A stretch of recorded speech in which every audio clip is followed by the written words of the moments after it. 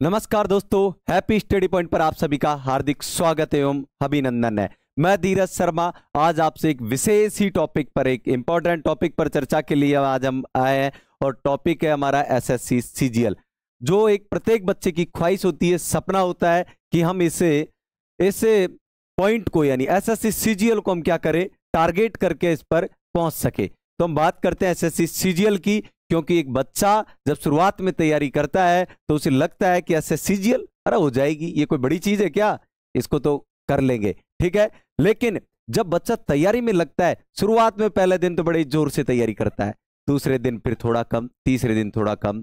शुरुआत में लगता है ऐसे सीजीएल कोई बड़ी तोप थोड़ी है, अगर तोप है तो एक गोड़ा हम भी दाग लेंगे, लेकिन फिर भी बच्चा क्या होता है धीरे धीरे तैयारी में लगता है, एक एग्ज़ाम देता है, रह जाता है, फिर सोचता है कि यार नहीं ये नहीं होगी, फिर वापिस कहा पहुँच जाता है? ग्रुप डी पर पहुँच जाता है। ठीक है? तो हम बात जो कर रहे हैं, बात है एस सीजीएल की, क्योंकि एक बच्चा सीजीएल के लिए शुरुआत में तैयारी में जुट जाता है, लेकिन जुटने के बाद में सबसे बड़ी चीज़ होती है उचित मार्गदर्शन की। प्रत्येक बच्चा एक कोचिंग में जाता है बड़ी बड़ी कोचिंगों में जाता है, एक मोटी फ़ीस एक, जहाँ से उससे मोटा धन लूट लिया जाता है और बच्चा बाद में सोचता है कि यार नहीं, चलो हम फिर पीछे मुड़ जाते हैं। ठीक है? तो एक उचित मार्गदर्शन आज हम एक टॉपिक पर चर्चा करेंगे एसएससी सीजीएल क्योंकि भारत की बात करें, सबसे बड़ी भर्ती इसे ही कहा जा रहा है वर्तमान में, क्योंकि रेलवे रेलवे तो एक सपने की तरह है, जो पाँच साल में एक बार आता है, लेकिन हम बात करें एसएससी सीजीएल जो आपको हर साल देखने को मिलती है, और इसके लिए प्रत्येक बच्चा जुट जाता है। देखिए एसएससी सीजीएल की बात करते हैं, सबसे इंपॉर्टेंट है, क्योंकि वर्तमान समय में प्रत्येक बच्चे का एक ख्वाहिश होती है कि हम एक ऊँची पोस्ट पर जाएँ, हम भी एक इनकम टैक्स ऑफिसर बने। ठीक है ना? हम भी कस्टम ऑफिसर बने। ठीक है ना? हम भी एग्जामिनर बने तो उसके लिए एस एस को फाइट करना ज़रूर है। इसका जो सिलेक्शन प्रोसेस है, दो एग्ज़ाम होती है। कितनी होती है? दो। टीयर फ़र्स्ट टीयर सेकंड ठीक है? देखिए फ़र्स्ट केवल क्वालिफाई है, आप क्वालिफाई कीजिए। ठीक है? उसके बाद सेकंड क्वालिफाई का मतलब यानी ये पासिंग है सेकंड में कोई नंबर नहीं जुड़ते हैं। देखो सब्जेक्ट आपके पास कितने होंगे? चार। सब्जेक्ट कितने होंगे आपके पास में? चार होंगे। मैथ होगी रीजनिंग होगी G A English general environments और इंग्लिश रीजनिंग और मैथ ठीक है? तो आपके पास चार सब्जेक्ट अब देखिए, सबके 25-25 क्वेश्चन होंगे। बरोबर पार्ट होता है ये, सभी एग्ज़ाम यानी चार गए और देखिए, सबसे बड़ी चीज़ होती है क्वेश्चन सौ होते हैं। प्रत्येक क्वेश्चन दो नंबर का तो कितने हो गए? दो हो गए भाई। कितने हो गए? दो नेगेटिव मार्किंग इसकी वन अपॉन फोर होती है। कितनी होती है? वन अपॉन फोर होती है। वन बाई फोर होती है। टाइमिंग आपको एक घंटा मात्र साठ मिनट मिलेंगी। क्वेश्चन हंड्रेड होंगे।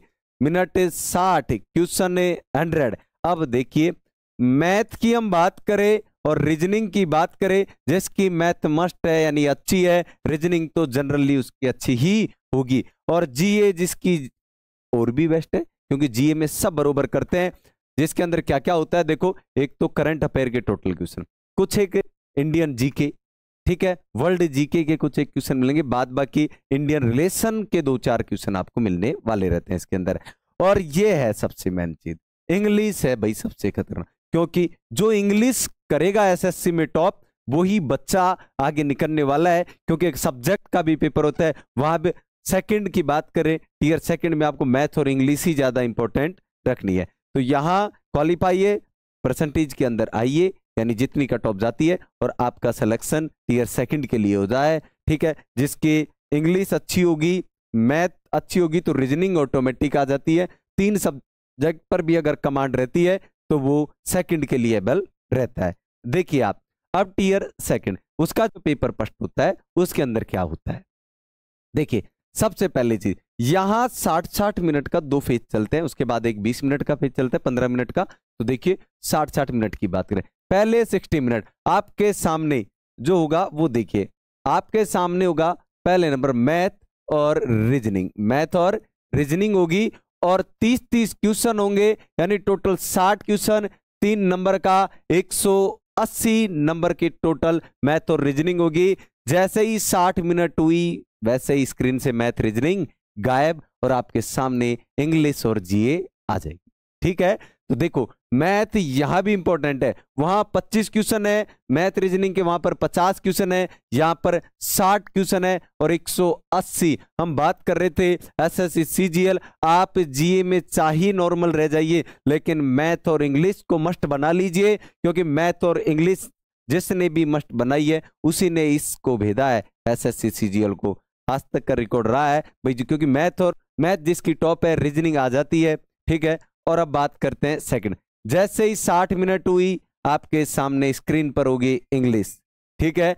और इंग्लिश के 45 क्वेश्चन जीए के 25 क्वेश्चन टोटल क्वेश्चन कितने? 70 वही तीन नंबर का 210 नंबर की है भाई।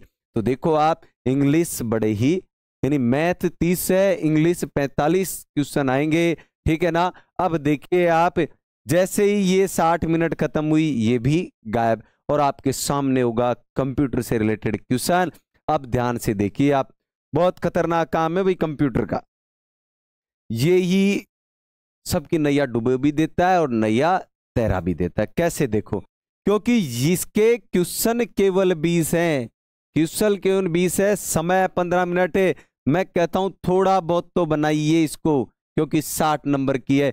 कारण है, क्योंकि इसको क्वालिफाई करना तो ज़रूरी है। इसके नंबर कट ऑफ़ में नहीं ऐड होते हैं। कट ऑफ़ की बात करें तो हमारे पास 200 300 390 नंबर यहाँ से कट ऑफ़ जाती है। लेकिन ये जो कंप्यूटर है, ये बड़ा ही खतरनाक है क्योंकि जनरल का अंदर अगर कोई बच्चा है स्टूडेंट है, उसको छह क्वेश्चन करना ज़रूर है। अगर वो पाँच क्वेश्चन पे है तो यहाँ तीन सौ नब्बे लियाओ फैल है। कोई मतलब ही नहीं है। ओबीसी अगर जनरल का ओबीसी और ईडब्ल्यूएस एस है, क्या है? ईडब्ल्यूएस एस है। तो कितने क्वेश्चन चाहिए? पाँच क्वेश्चन चाहिए, बस कितने चाहिए? पाँच, यानी पाँच दिया पंद्रह नंबर। कितने? पंद्रह। ओबीसी वालों के लिए पाँच। और एस सी एस टी की बात करें तो चार। कितने? चार। एस सी एस टी को चार चार दिया बारह नंबर, इसको पंद्रह नंबर जनरल को अट्ठारह नंबर। ये तो ज़रूरी है, आएगा तभी जाकर पार पड़ेगी। तो और देखो जब ये होता है, फिर इसके बाद एक टाइपिंग स्पीड की ओर बात होती है। कितनी, किसकी होती है? टाइपिंग क्योंकि डाटा एंट्री वाली पोस्ट भी रहती है टाइपिंग तो चाहिए इसके अंदर, क्योंकि ये क्वालिफाई के बाद में अगर हम टाइपिंग की बात करें तो देखो 200 की डिप्रेशन यानी हम बात करें कि टोटल अगर इसका एवरेज निकालते हैं तो 27 वर्ड पर मिनट आता है। लेकिन हम बात करें तो आपको speed minimum 35 word per minute की तो होनी ही होनी चाहिए, क्योंकि वह एरर भी होती है, ठीक है ना? गलतियों के भी नंबर कटते हैं तो आपकी स्पीड कितनी होनी चाहिए? 35 की स्पीड होनी चाहिए। तो देखो और भी पोस्टें होती हैं, इसके अंदर अलग अलग होती है, उसके अंदर कंप्यूटर की स्पीड भी चाहिए, ठीक है ना?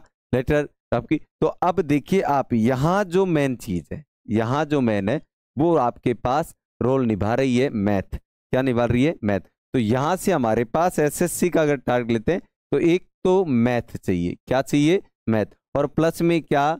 इंग्लिश क्या चाहिए? इंग्लिश मैथ और इंग्लिश क्योंकि हर एक पोस्ट की एक अलग होती है, ठीक है? अगर आप अलग पोस्ट के लिए सिलेक्ट होते हो, और भी ऊँची पोस्ट के लिए सिलेक्ट होते हो तो वहाँ पर क्या करना पड़ेगा? पैराग्राफ राइट भी आता है इंग्लिश का, ठीक है ना?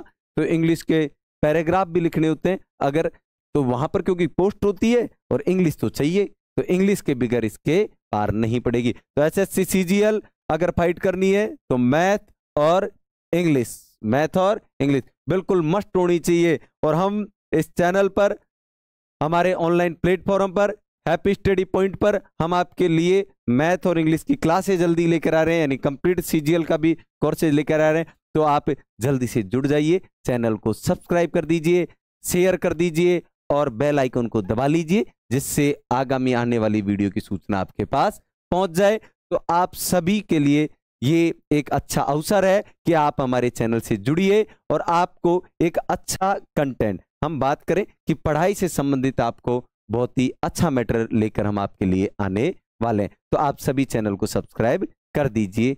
धन्यवाद आप।